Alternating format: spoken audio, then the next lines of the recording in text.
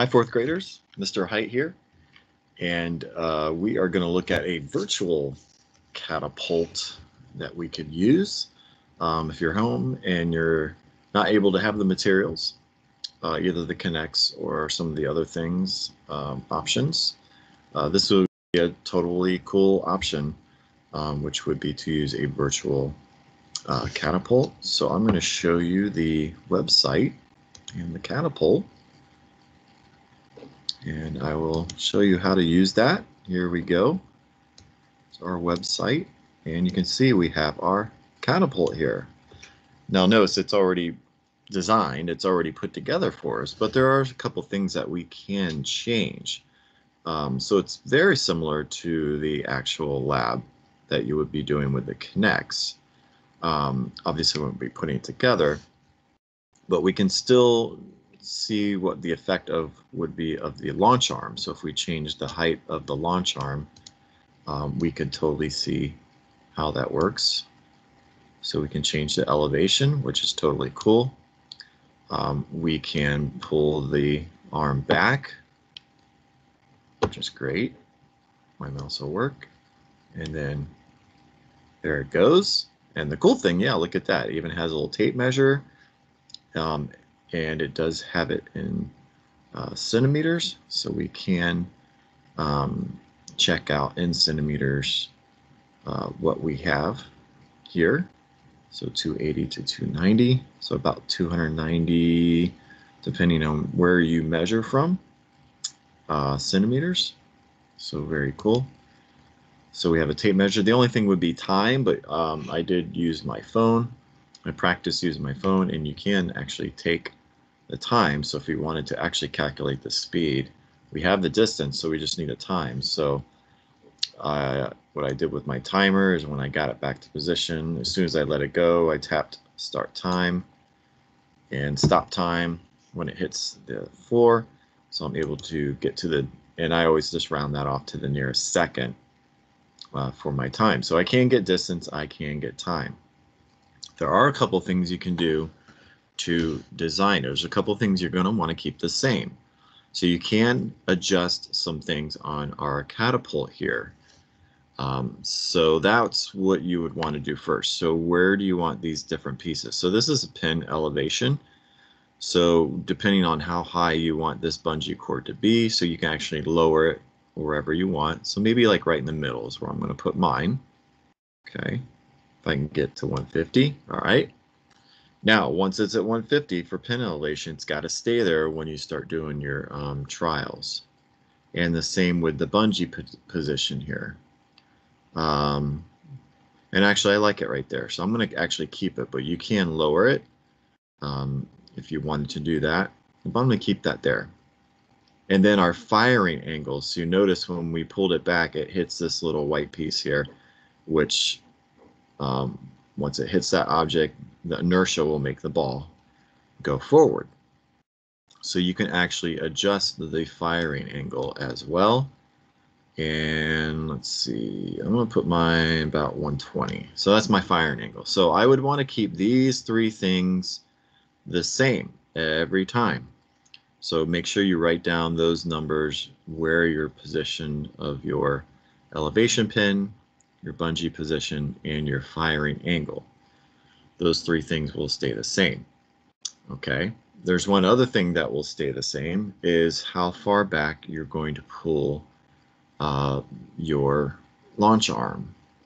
So you'd want to make sure that is the same too. So if you pulled back your launch arm, let's say I do mine at 145.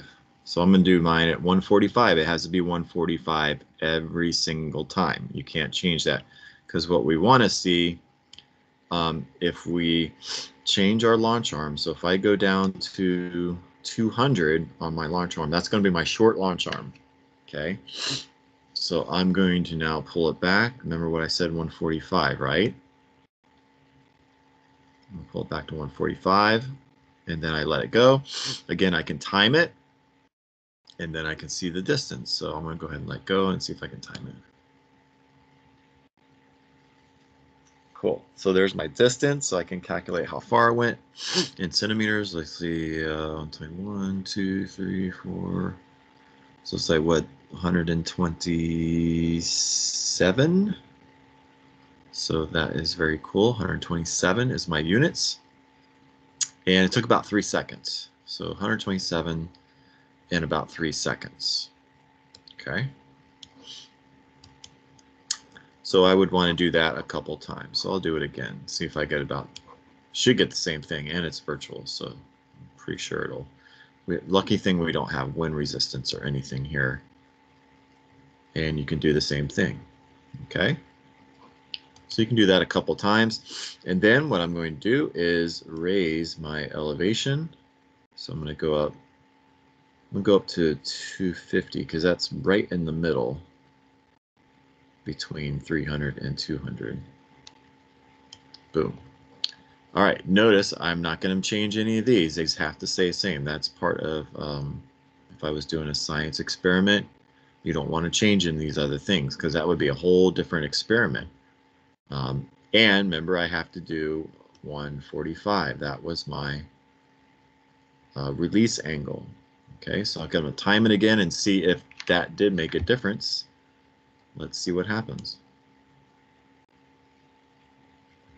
Whoa, it went further and it took four seconds. So it took four seconds and it went um, a little further here. So you'd want to do that a couple times and then go ahead and bring it all the way up to the very top 300. so we made this launch arm really long, basically like you would do with the K'NEX, because that's what the K'NEX is going to do, is um, have a short long launch arm, launch a marshmallow or whatever, a medium one, and then a long one to see if that launch arm, does that affect the uh, distance and time. So I'm going to do that to 145 keep everything the same. And I'm going to time it. It was about five seconds. And notice it went um, a little bit further here. So I would do that a couple times to make sure my trials are consistent, make sure I'm getting the same data, and making sure I didn't change anything here. Because if I change any of these three and my release angle, it's going to affect my um, data. So one more time, I'm going to pull that back.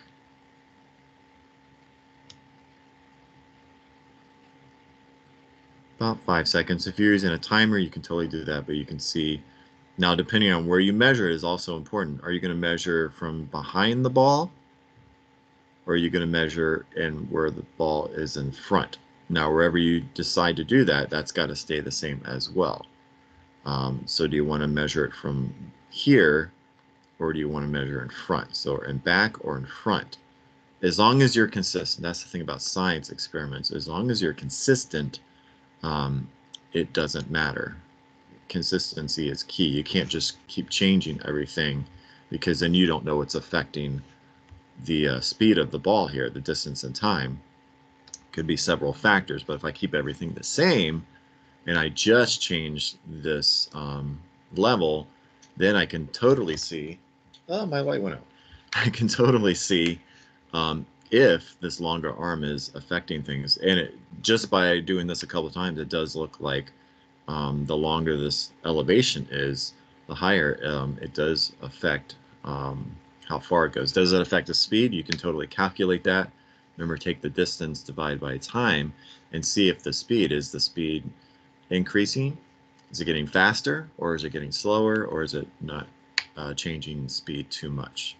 So very cool that we have a very nice virtual catapult. This is probably one of the best ones I've seen um, because you can change it around. You can get it the way you want. Um, you can set it, so make sure you set it the way you want. Um, keep those variables the same. Remember, we're just going to change the um, elevation. So that launch arm length here, I'll start at 200 and then go to I would do 250 because that's right in the middle, and then do, go ahead and do your 300. Um, record your trials. Do it, you know, uh, five times would be a good good thing. The more the merrier. Obviously, the more times you repeat an experiment, the more validation you have of the data. You know that data is good. Um, so go ahead and check that out. All right, well, I hope you have fun with that virtual catapult. Um, I know it's not the same thing, but it really is cool. Um, the different pieces and lets you measure just like you would with a, um, a real catapult.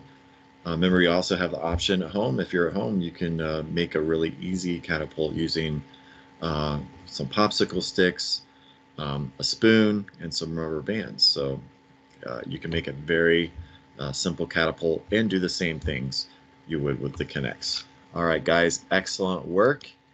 And we will see you next time. Take care.